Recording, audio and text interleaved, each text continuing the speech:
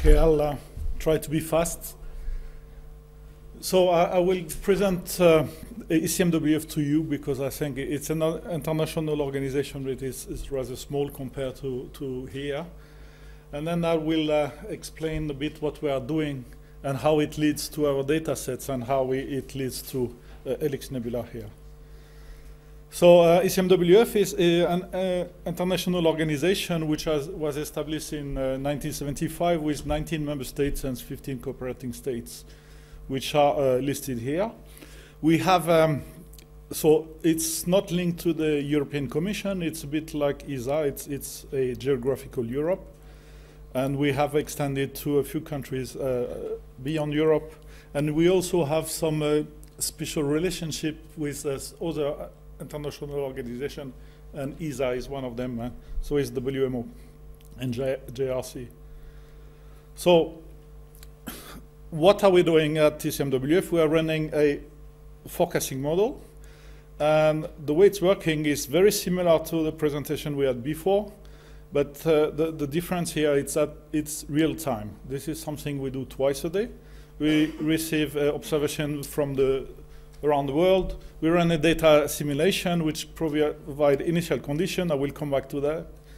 And then we run the model, and that creates a forecast that we archive, and the forecast is fed back into the data simulation for the next cycle and so on. Uh, another way of presenting the, the same uh, principle here. So you have data coming in, the data simulation, and we run model. What I wanted to show you is that uh, we actually have several models, not just meteorology. We also have ocean waves. We have a, a, ice model, a land surface model, and so on. And we create several sort of forecasts, a medium range forecast, a monthly forecast up to four weeks, and a seasonal forecast up to six months. So we get observation in real time from uh, all those uh, sources of data. So we have uh, satellite data is the, is the main uh, source of observation, but we have aircraft, ships, drifting buoys, and so on. Uh, just to show you the coverage of data we have, on the top here, these are um, observation from a, a, little station you see on the side of the road on, in, fields, and then you have uh, balloons. You have the commercial aircraft. You can you can see the routes here of the aircraft, and then of course a lot of satellite observation. And the data simulation is to take the previous forecast, takes all these observation and make a, a grid uh, of the state of the weather. That's the state as it is now, and then we, we run the forecast. This is extremely expensive in terms of uh, computer power. We have a very fine grid, 16 kilometers now. We have actually two models, an ensemble model I will, I will explain to you, and then we have a high-res model. It's global, 16 kilometers. You see the grid points over Italy here. And then we have 91 level in, in the atmosphere. So that is quite a large uh, grid. We also are responsible for a private network which connects uh, many countries in order to exchange all these observations. So I don't know if you can read, but we have a, a more uh, geographical, so we connect all those, um, we actually don't build a network, we, uh, we outsource that to a, a, telecom company, but we manage this private network. And this, we exchange all the observation through this uh, uh, network. In order to create a forecast, we have already always been a, a center of, of uh, high performance computing. So in the 80s, we were using many Crays. We had several generations of Cray machines. In the 90s, it was more uh, Fujitsu, and nowadays it's uh, IBM machines. Power 6 is the last one, and we are um, running a tender now, so next year we may have something else. So this is the uh, our computing uh, system now. We have uh, 16,000 cores and for 20 teraflop sustains, but that's on our code. That's not just on the a standard uh, uh, benchmark. It's quite uh, expensive into power consumption, as you can see. And we use our machines, we have two clusters actually for resilience, and we use half of, uh, of the machine for research, the rest for operation. And our member states. We archive everything. Since we started, we have a, a, large archive. It's the largest archive of meteorological data. We have 22 petabytes roughly, and we add 23 terabytes every day. The archive is uh, accessible to registered users, but we also have many public data sets which are available, and that's the one I, am going to mention now. The last, uh, that's very important. This is, uh, in order to see how well we are performing, we do scores. And these are the scores since the 80s. And our aim is that we uh, improve our forecast by one day per decade. So if you want, the, the top one was the, the, the quality of the forecast at, in three day ahead. And nowadays it's in the 97, 98%. So that's, that's the, the, the confidence we can have in the forecast. In the 80s, it was uh, more in 85. The bottom, the bottom uh, curve is the south hemisphere and the top curve is the north hemisphere. As, as you can see nowadays, we don't have a difference between the two because of the satellite data. In the 90s, we only have conventional observation. With satellite data, we have now uh, nearly no difference between the two hemispheres. And just to tell you how we have improved this, that's uh, the cyclone here, this was in the 80s. And as you go, you see that actually our grid is closer and closer to what we want to forecast. So there's 16 kilometers nowadays on the global. So what are the uses of, of this? Okay, we don't provide uh, data to uh, the general public. We give them to our member states, which then um, redistribute them. So it's mainly environment, as you can expect, that also public uh, protection and safety uh, emergencies, but also transport is a big uh, uh user, and the energy is really something that is starting uh, recently. There, there is a lot of interest in, in the meteorology for wind farms and and all sorts of. Uh, even the nuclear plant is linked to the temperature because if it's too hot, you cannot cool down the, the, the your nuclear plant and you have to, to, to, to slow it down. So the, the, the meteorology affects, the weather affects the energy. So now I'm going to mention GEO and GeoWow again, so I'm not going to repeat that. It's a EU-funded project, and we are ECMWF, the weather partner.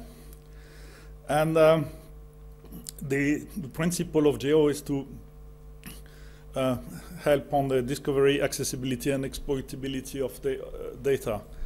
And as part of this project, we've been contacted by Terradue, and they um, uh, introduced us to Helix Nebula. We did not know about it, so that's that's really how we came to be here.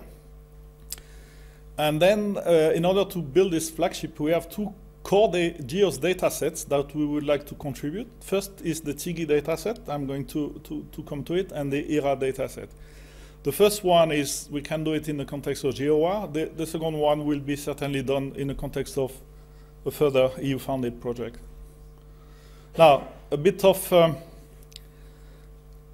uh, background on, on the TIGGE. The, the, the nature of the atmosphere is chaotic.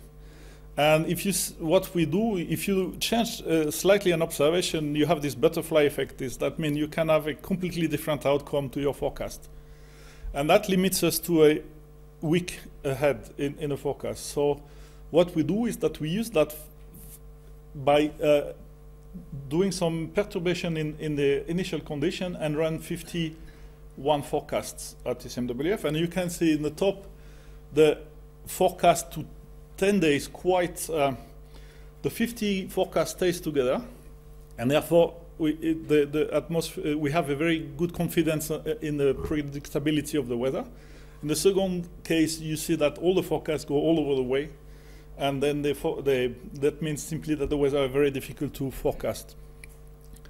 Now, uh, this is just to give you an example. There was a, a storm in 87 in the UK. Uh, the, the storm is shown at the top, which, that's the truth, and the forecast was not that good. But between all the 50 forecasts, some of them did forecast the storm. So the information was in the data. It was not just captured by, by the main forecast. So we are several, 10 sites around the world doing the same thing. So the, there is a, this project which is to collect all the uh, ensemble forecasts. We do run 50 forecasts, but the American also run 50 forecasts, the Japanese as well, and put them all together. So in the central place, and we have roughly 250 forecasts uh, run at various places on the world, and that we call the TIGGE dataset. It's not a, it's a near real-time data set. You cannot use it for, for forecasting. You can use it for um, research because it's way too slow to, to exchange all this data. But we have quite a lot of users and it, they generate quite a lot of requests as well. So THORPEX is a program of the WMO, the World Meteorological Organization. And um, so that's why we have this uh, international co collaboration and is to, to, to promote the collaboration between operation and universities and also to help people understand how to combine all those uh, forecasts to calibrate or to, to create new products. A couple of uh, examples here. For example, it's very efficient for, these are uh, tropical cyclone track probabilities. So once you have um, 200 forecasts and uh, you can compute probabilities of track. So that was a, a tropical cyclone Ike. Uh, this is the sort of multimodal product you can do. And also, for example, in, in terms of uh, hydrological application, you have many models. This is coupled to a flood uh, model from uh, JRC. And then uh, if you use the combined models, you, you get a better uh, accuracy than, than the, the top was the truth and the bottom was the combine uh, of all the forecasts. So there is a lot of research going on here and it's a lot of data. Now, the second data set is what we call a reanalysis. I show you that we run, we take all the observation, we run our forecast, and we become better and better uh, along the years. Uh, uh in 30 years, we've been doing better and better. That means that we cannot really compare the output of the forecast uh, 20, 30 years ago and to the forecast today. So what we are doing is called a reanalysis. We take all the observation for the last 30 years and we rerun a modern forecast and that gives you a very uniform data set. And uh, people at uh, uh, ECMWF are starting a 20th century reanalysis, so they are going to create a 100-year data sets with observation from the beginning of the century to the end of the century to have a very consistent data set, the same model, the same science, and then this is the second data set I would, we would like to uh, provide through the, the cloud here. And because it's um, it's manages the observation using the model, it can create the missing variables and also make sure that there are constraints between all, all the, the physical and dynamical constraints be between those variables. And then you can actually see if there are really a change in temperature. So that, that's, for example, uh, from the 80s to, to the uh, 10s now, the, the, the increase in temperature uh, so I don't know exactly where it's, no, it's, sorry, the global mean temperature here. And that is a result we can give. So this data set is very, it's also removed the, the errors in the change in the observing system. And it can also be used to, to see extreme events like that, for example. If we, in, in this case, you could compare the, the past with the, the, uh, the, the forecast and see that there is an extreme drought in, in Australia for this uh, particular event here. So it's extremely popular data set, 10,000 registered users, and that's for the 40-year reanalysis. So we expect a lot more users for the 100-year reanalysis. We really have 5 million fields which are retrieved every day from our site, plus the mirror sites, and then we don't have any accounting. So it's extremely uh, popular, and it's used for everything. For example, malaria uh, outbreaks and so on because it's linked to the, the moisture and the wind and so on. So it's it's really a, a it's a data set which is very valuable for other science to, to, to work on. And again, uh, the energy sector is quite keen into using. This data set is completely uh, available to everybody, including commercial customers and the, the commercial users. The first one is limited to research and education, but this one is, is completely open. So now the last slide is our motivation. First, I think the most important is that we need to understand what is cloud computing and what we can do because we have been, for, for me, it's still too remote. And, and I want to understand the cost model. And I think that is something that uh, we have heard many times today. So I think I'm not the only one. But once we have, we have a good grasp of the costing model, I think we, will be a great tool for everything. And also for us, it's with the focus on very large data set. It's not too much on CPU, but more on data volumes. Okay. And we see that now uh, really to improve access to those data sets because now it's not very efficient. We have a couple of servers, we have lots of requests. So if we really we could promote the use of these data sets, that would be uh, amazing. The parallel aspect, uh, that this is something I can uh, anticipate. Uh, again, if these terabytes or petabytes are distributed, people could use them in a parallel fashion. And, and last but not least is similar to the presentation um, given by UNESCO. If for users with a very limited bandwidth, they could actually uh, run their processing in the cloud and you can see the cloud as a way to compress information, huh? not as in gzip, but computing averages, computing uh, uh, standard deviation. So at the end, you what you extract from the larger piece of, of data is, is a more condensed piece of information that then you can download. And that uh, concludes my presentation. Thank you.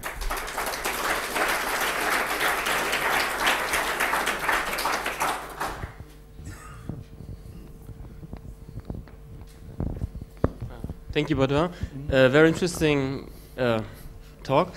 With these data that you provide, you also provide tools. Do you have yes. open source tools? Yes, I did not put that in the, in the presentation, but I did put that into the, the, the description of the flagship. That's the idea would be to provide the tools. We have all the tools to process the data.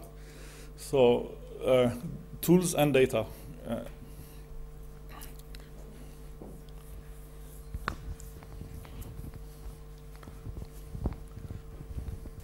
Uh, go I had a question also. Uh, these data centers that you showed, the huge data centers that you have, do you use them all the time? I mean, uh, is it are they used to the same level all the time, or do you have peak times of getting all the data, processing it, and then for a time the demand goes down? No, no, it's the the access is, is worldwide. Actually, we have requests from the whole world, so it never stops. You have the the Japanese first, Chinese, and so on. So it goes wrong. There is no time we can actually stop the service because we will affect, always affect somebody. What about the processing? Not the request? No, uh, currently the way it's done is that the data set, we provide the data and the data set, the processing is done on the uh, user's own machine. And that's our problem because if they really want to do an important study, they have to download a lot of data. It could take weeks so it's a, it's a real bottleneck. Now, if you want to retrieve uh, 100 years of temperature, it's several gigabytes that we have to fetch from tape. It can take several hours to actually extract from tape. It depends if, if the, the and so then send them to. It is quite possible that many people do the same thing on their own sites. Basically, that's what you're saying. Uh, from experience, from the the raw data, yes, but they they what they are looking at is usually different. They, they look at different uh, area on the globe. Okay. So, so they, they may, now they have, unfortunately have to download the global field and then they will look at just some place. So that's the sort of thing they could do in the cloud as well. I, I have a question. I understand you have, I'm sitting here. so, so I understand you you, you, are dealing with big data sets. Um, do you have any have you any previous experiences where you encourage the, your users to co-locate their computing power with your data? So I mean, apart from cloud computing, this this could be envisaged uh, or already before. So so that you had some maybe existing capacities that were that, that, eventually could be available to the users in order to work with the data locally yes. and, and pro process it lo locally? The answer is yes, but uh, I mean our member states who actually found us have access to our machines, okay? But uh, what we are talking about here is to open uh, it to a much wider the, the people who have access to our machines are the, the Met services. So the UK Met Office, Meteo France, the Italian Met Service, they, they come and they do their processing.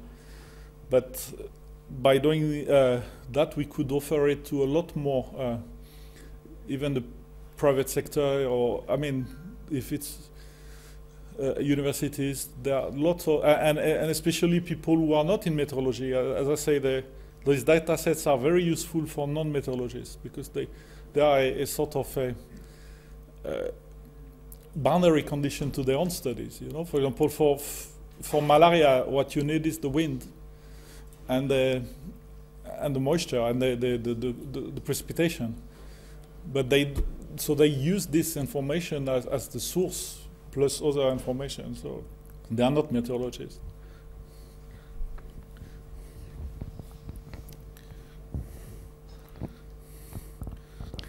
Was very impressive to see how your uh, prediction capability has increased over the years. Eh? Unbelievable.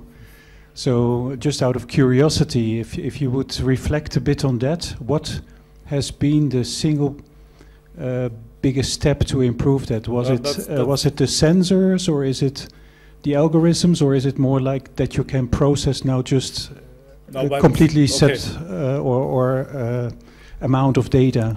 It's the advent of uh, satellite observation. I mean, of course, it's to have a, a, a model which is growing uh, more and more resolution and so on, but it's really having uh, a, a, global view of what's happening. Uh, so, yes, and, and, and the number as well. We even uh, put in our simulation GPS uh, data. People don't know, but GPS uh, beam is affected by the uh, amount of water uh, in, in the atmosphere. Well, I mean, you may know, okay? And that is useful already, okay? So that, that we put in the model uh, and it gives us information. So it's, it's the, the volume of information we have, we can put in that makes the model better and better. And uh, of course, bigger machines, but and better modeling. But so if the model is your data is in the cloud, and certainly, as you say, the Met office is going to extract what they want back into their data centers. Mm -hmm. Would it then be that as a smaller user, I would come to the cloud data and do compute in the cloud against the data? Yes. Okay, let's not confuse. We have a real-time uh, job because the meteorology has a value in the future, not in the past too much. I mean, So we send our data to the Met Office, to Meteo France all the day, but, and that is not going to change. Here we are talking about data sets which are useful for researcher, like uh, our climate change and so on. Right. And they are fixed in time. They're, they're, it's 100 years, it's one petabyte, and you can do a lot of, of research. It, I mean, real-time use of the cloud, I think this is science fiction for now. I think it it will take it will it will arrive. It will be. But this is now back to SLAs. Okay, so okay. I'm I'm a researcher. I come to the data yeah. set. I run algorithms that are proprietary that I've yes. developed. Do I then have the right to benefit commercially from the output? Uh, the second data set, as far as I'm concerned, yes. Uh, I, I couldn't check, but it's, it, it has no uh, string attached if you want. The first one, because it's not ours, it, we have data from Japan, from Australia, from Brazil. They, they put their own conditions. The second one is is uh, the, the reanalysis is freely available. You can you can do whatever you want to. I'm not advocating No, this, no, by no, the way, because I, I believe in pure research as well. But it occurs to me that if a researcher has a valuable algorithm, Mm-hmm. runs it against your data, he might choose to leave that data in the cloud Yes, for another researcher to use. yes. And I then think the again, only thing we ask is is for um, you know uh, it's a bit like uh, acknowledgement of the source of data. That's uh, so if in publications or.